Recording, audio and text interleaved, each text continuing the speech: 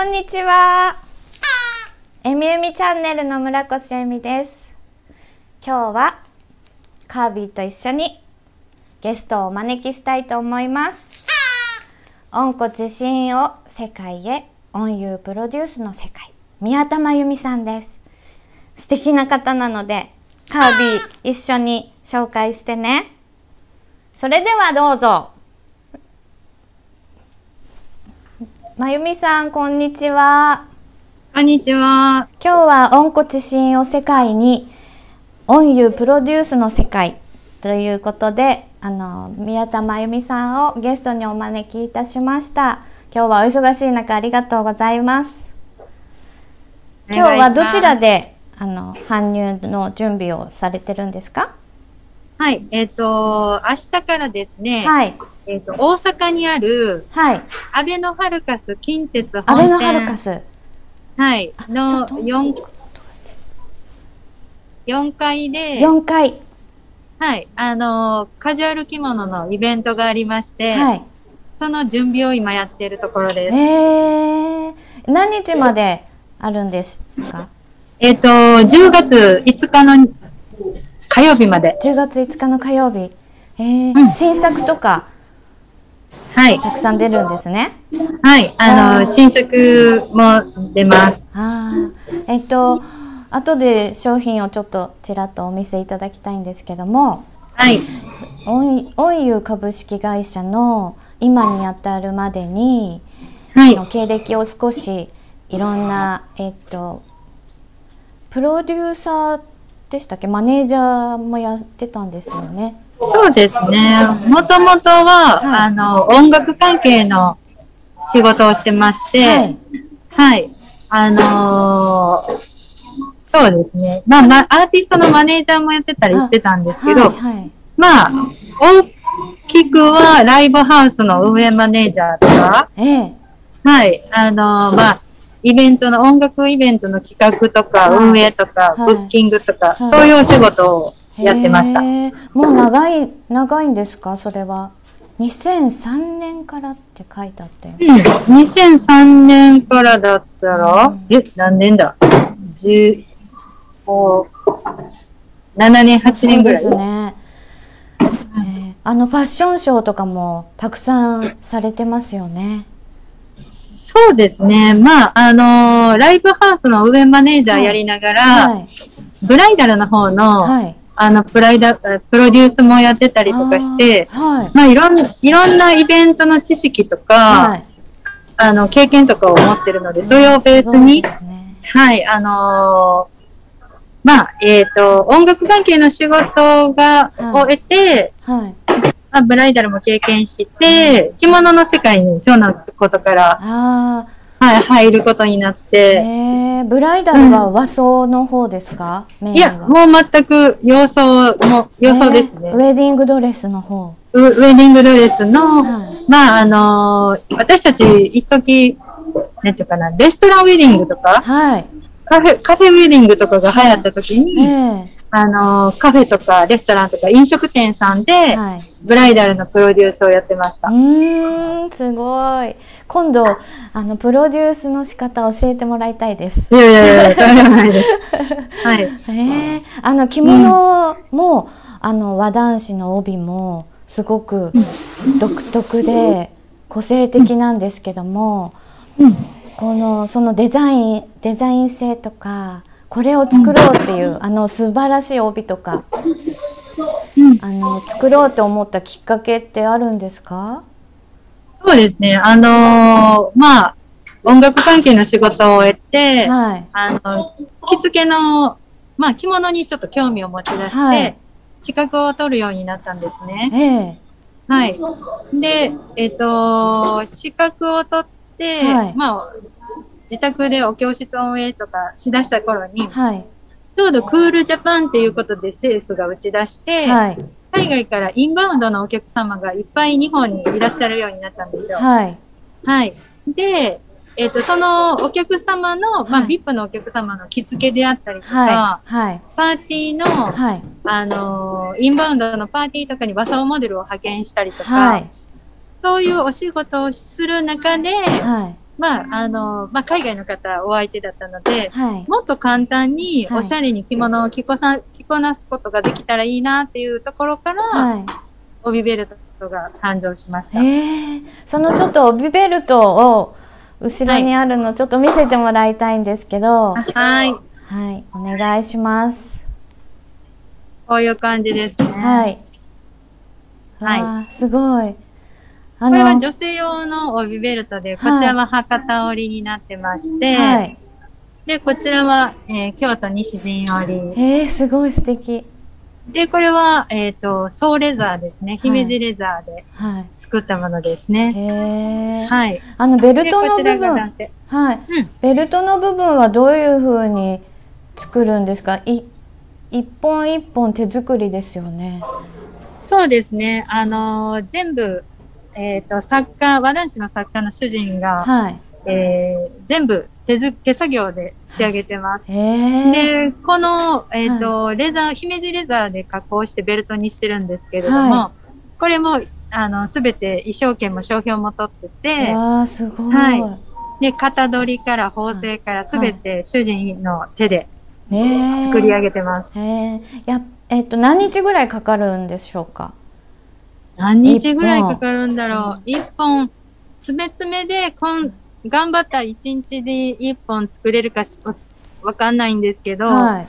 今は、あのもう結構オーダーがたくさんいただいてて、はい3ヶ月待ちになってまわあそうなんですね。大人気ですね。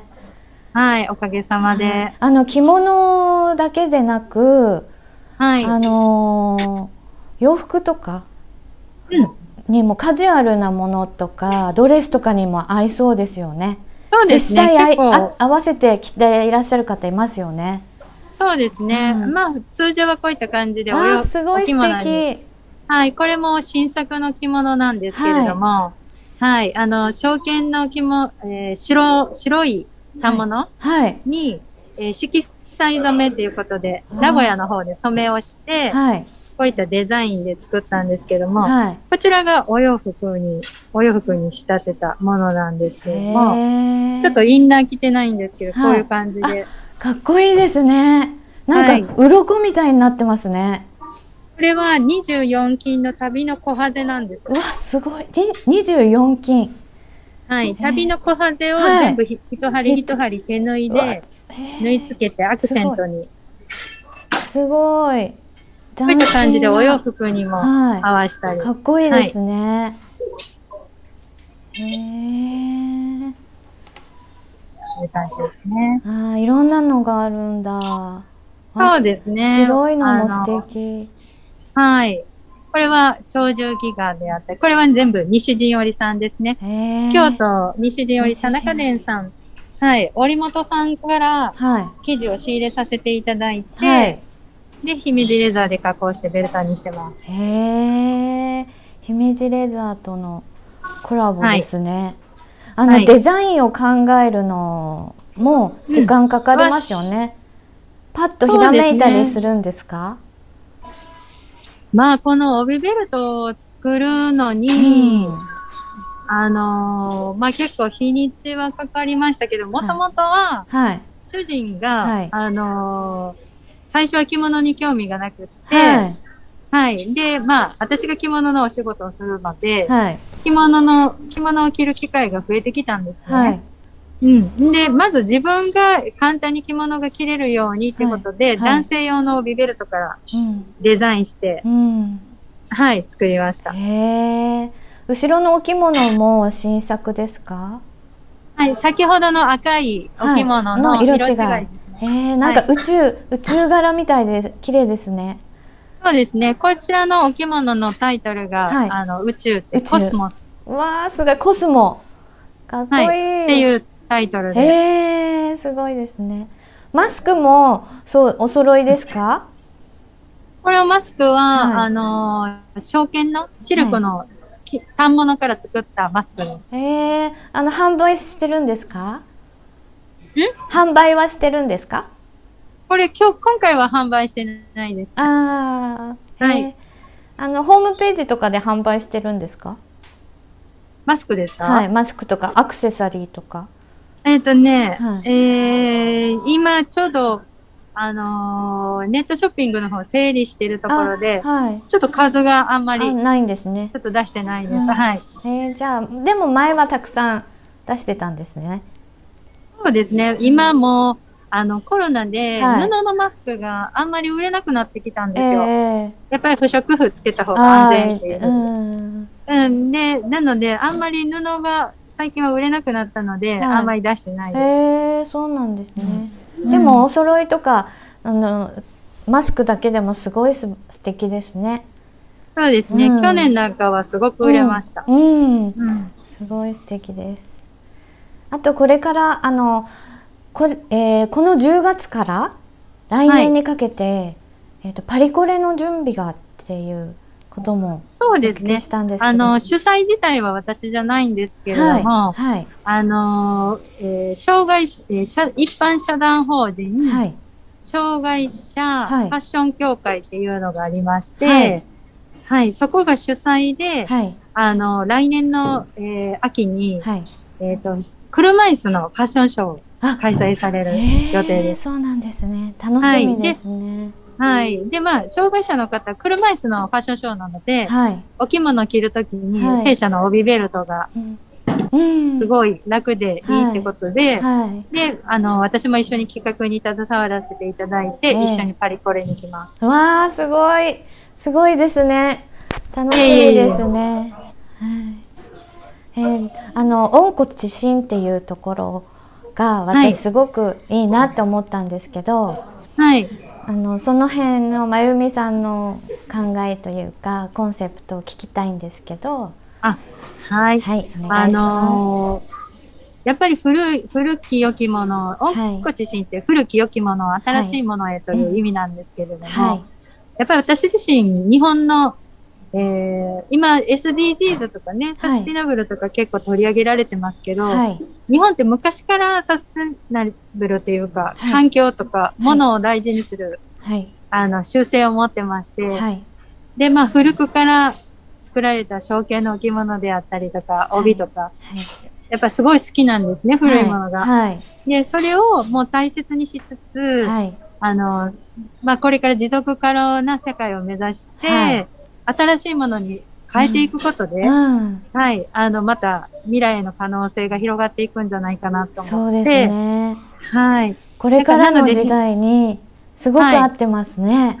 そうですね。はい。なので、この反物も、はい。あの、もともとあった白生地を染め直して、はい。デザインしてあ、新しい宇宙柄にして、えデザインえ、はい。すごいそうです。で、お着物にしたりとかしてるんですけど、ええあとはデニム着物ですね。はい。はい、カジュアルにコーナーしていただけるデニム着物であったりとか、はい、はい。そういうのを作ったりとかしてます。はい。へえ、素晴らしいですね。私もちょっと興味があったので、あの帯と着物を合わせて購入して着たいと思います。ああ、ぜひぜひ。はい、あの上手に着るコツとか教えてください。はい、はい。ぜひ。はい。あのこれからいはいこれからのイベントはパリコレの他にあったら宣伝とかありましたらお願いします。はい。えっ、とまあ、今回、安倍のハルカス近鉄本店で、はいえっ、と、5日まで開催するんですけれども、はえー3日の日曜日に、はいこちらの4階の、はいあのー、ウィング館4階の会場で、はい。ミニファッションショーをします。わはい。で、えっ、と、弊社が、あの、和装モデルを育ててるんですけど、あはいそのモデルの子たちが、いえー日舞をご披露させていただいたり、はいあと、ブランドさんの、はいまあ、それぞれの思いを、あの、聞いていただけるトークショーなんかも、あ3日の日に開催する予定です。あはい。オンユーさんの中身がたくさん知れますね。そうですね。ねあの、弊社だけじゃなくて、はいい、ろんな素敵なはい。カジュアル着物のブランドさんが出店してますので、はい。本当に楽しんでいただけると思います。うんはい、楽しみですね。今日宮地さんはいらっしゃるんですか？今日はね、いないんであ、すよ。いないんですね。あ、お会いしたかったです。素敵な人だったので。すいま後せん。で写真をじゃあ 載せさせていただきます。はい。はい、今日はお忙しい中ありがとうございましたこちらこそありがとうございます。は。い、またじゃああのお会いできる日を楽しみにしておりますはい、ありがとうございはい、ます。ありがとうう。ございます失礼いたしますはい、失礼いたします。はい、ありがとうございました。音優の宮田ままゆみさんでした。今日、今日はカービィすごかったね。お着物も帯もすごい素敵で、これから、えっ、と、近々のイベントはアベノハルカス。あとパリコレもあるそうです。いいね。カービィも着てみたい？うん。もうちょっと上がってきて、カービィ。ありがとう。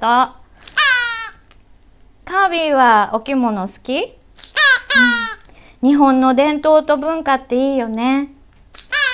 またみんなにあの素敵なお友達を紹介したいと思います。それではカービィバイバイしよう。バありがとうございました。またえみえみチャンネル見てください。それではバイバイ。